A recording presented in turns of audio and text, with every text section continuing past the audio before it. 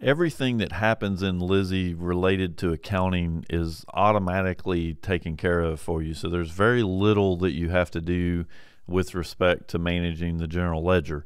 Now in this video, we're going to show you how to actually look directly at the general ledger to help you with researching things, uh, looking for problems, and and even creating your own entries into the general ledger to to take care of certain things that that may have happened um, where you're trying to either correct something.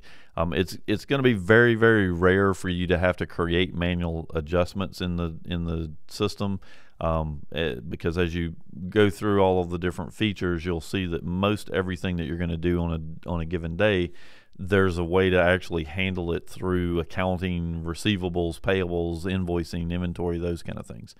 But to to locate anything in on the general ledger, the first thing you're going to do is come to the GL control, which is accounting general ledger locate. We can start by putting in the entries for the date range that we want to look at.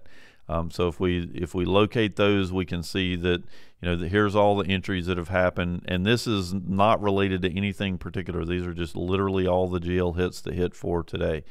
Um, if I wanted to narrow them down for a particular invoice number, PO number, item number, and so forth, you can do that over here on the right. So we can tell it that we want to only look at a particular thing.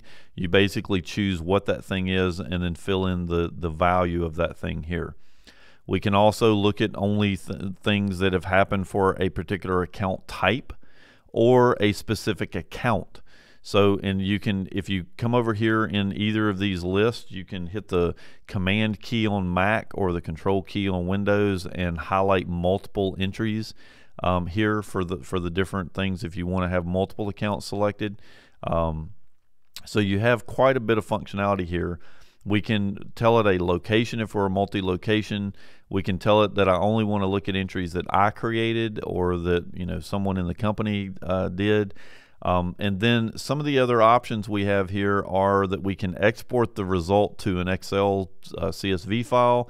Um, we can tell it to use a beginning balance of zero, which means that as it counts down, it'll give us the ending balance based on that date range that we chose. We can tell it to only look at it by a current contact record we can tell it to show only manual entries. So, as an example, when Lizzy creates a, a, set of GL hits for an invoice, those invoice those entries are tagged to an invoice. If we do a set of entries for adjusting inventory, they're tagged to an inventory item.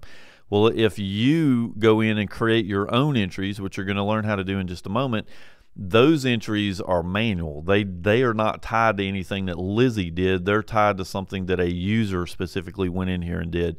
And so showing only manual entries gives you a really quick way if your P&L looks like it's off on a particular account, the first thing to do is to come over here and look and see if there's any manual entries for that particular account for that date range to make sure that you haven't caused the problem or someone in the company hasn't caused the problem themselves.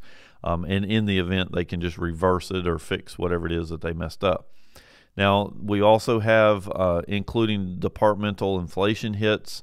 Um, these are actually the, the hits that were done based on departmental accounting. Normally, you don't want to see those on the general ledger because they're they're only used for departmental side of things.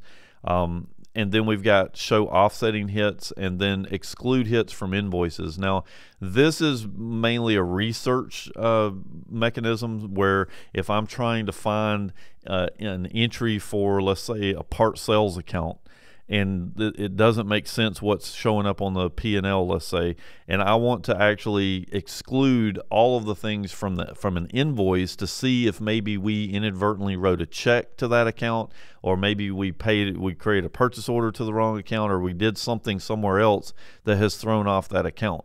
So this allows me to be able to just dump the the invoice side of those accounts and only look at the the external hits that may have happened for it.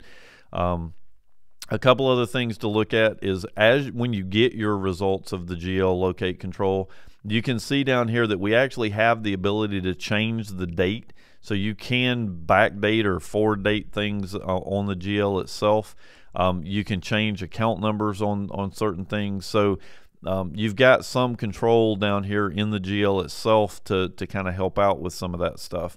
Um, we also have a location. So if, if a location was set incorrectly, you can change the location on the particular entry. Um, and to do that, you actually hit the pencil here and select the new location. Um, so uh, and, and, then up here at the top you've got view L, view GL details and view account descriptions. Um, so by default, when this thing comes up, um, you may have kind of a summary view of what's going on, and if you want to see that extra detail, uh, you can turn that on where you get the actual uh, transaction ID, Gen ID, and user and all that stuff. Now, the transaction ID is the last thing I want to talk about on this particular control, and it basically relates all things together that happened at the same time. So when you do an invoice and you cash that invoice out, you're going to get a transaction ID that is going to match for all of those entries that happened on the GL at that particular point in time. So it's a, a really nice way to kind of see, okay, well, this is a transaction. What all happened during this transaction? So I would copy that transaction, come up here and tell it, okay, show me everything for that GL transaction ID, and then I would just paste that ID into this field. So the that's all there really is to the locate control and it, it is a, a, a vastly important thing to know how to use for researching general ledger issues. Now the last thing we're going to talk about is how to actually create a manual adjustment on the GL again you're not going to do this very often but all you're going to do is go to create adjustment and pick the date of your adjustment fill in the description for that adjustment fill in any other information. This none of this is required information to put in here, but you can fill in if you want to link it to a PO or you want to link it to whatever. You can fill that information in. Um, and then down here at the bottom, we're going to actually fill in the amounts that we want to, to adjust. Now, as with any double entry accounting system, debits have to equal credits. So we want to make sure that when we're done, before we hit the process button here, that we have made sure that all of the amounts for our debits equal our credits. So as an example, if I wanted to take uh, money out of the petty cash fund, let's say $10, and I want to debit that account, then I can come down here and take it out of the bank account and then we would want to make sure that we credit that account. So it is important that this says whatever equals whatever so that it's it's equal before this is going to actually work. And if you try to do it um, without making them equal, it'll actually give you an error.